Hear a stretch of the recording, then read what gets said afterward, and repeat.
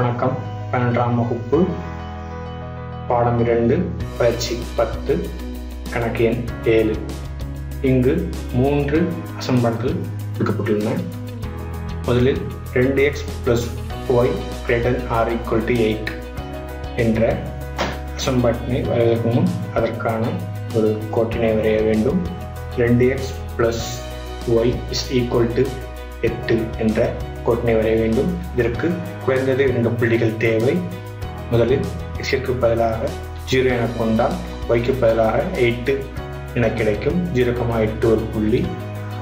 எக்ஸிற்கு பதிலாக நான்கு என பிரதிட்டால் ஒய்க்கு பதிலாக ஜீரோ என கிடைக்கும். நான்கு கமா ஜீரோ என்ற புள்ளி. இந்த இரண்டு புள்ளிகளையும் இணைக்கும் கோடு ரெண்டு X plus Y is equal to எட்டு ஆகும். அடுத்ததாக கோட்டினுடைய எந்த பக்கத்தில் ஷேடிங் செய்ய வேண்டும் என்பதை தீர்மானிப்பதற்காக கோட்டில் அமையாத ஒரு புள்ளியை எடுத்துக்கொள்வோம். உதாரணத்திற்கு ஜீரோ கமா ஜீரோ எக்ஸிற்கு பதிலாக ஜீரோ ஒய்க்கு பதிலாக ஜீரோ என சமன்பாட்டில் எழுதியிட ஜீரோ கமா ஜீரோ என்ற புள்ளியானது அசன்பாட்டினை நிறைவு செய்யவில்லை. எனவே ஜீரோ கமா ஜீரோ புள்ளி இருக்கும் இந்த பக்கத்தில் ஷேடிங் அமையாது. இதுவே ரெண்டு எக்ஸ் பிளஸ் ஒய் ரிட்டர்ன் ஈக்குவல் டு எட்டு பகுதியாகும். எக்ஸ் ப்ளஸ் ரெண்டு Y greater or equal to eight வரைவதற்கு முன்பாக எக்ஸ் ப்ளஸ் ரெண்டு ஒய் இஸ் ஈக்குவல் டு எட்டு என்ற கோட்டினை வரைய வேண்டும்.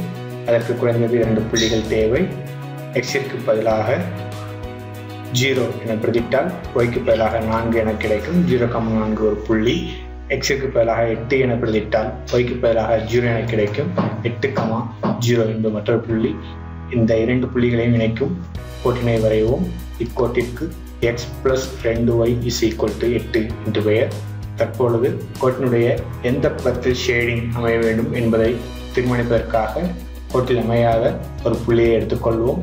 ஜீரோ கமா ஜீரோ என்ற ஆதிப்புள்ளி எக்ஸிற்கு பதிலாக ஜீரோ ஒய்க்கு பதிலாக ஜீரோ என இரண்டாவது அசன்பாட்டில் வெளியிடுவோம் இந்த ஜீரோ கமா ஜீரோ ஆதிப்புள்ளியானது இரண்டாவது அசன்பாட்டினை நிறைவு செய்யவில்லை.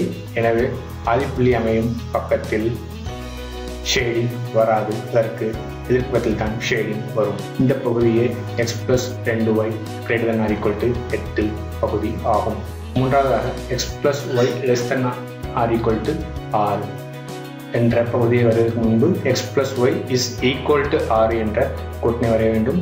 இதற்கு இரண்டு புள்ளிகள் குறைந்தபட்சம் தேவை. எக்ஸிற்கு பதிலாக ஜீரோ என பிரதிட்டால் ஒய்க்கு பதிலாக ஆறு என கிடைக்கும். ஜீரோ கமா ஆறு ஒரு புள்ளி.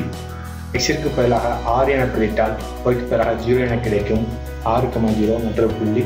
இவ்விரண்டு புள்ளிகளையும் இணைக்கும் ஒரு கோட்டினை வரைவோம். இந்த கோடு X plus Y is equal to ஆறு ஆகும்.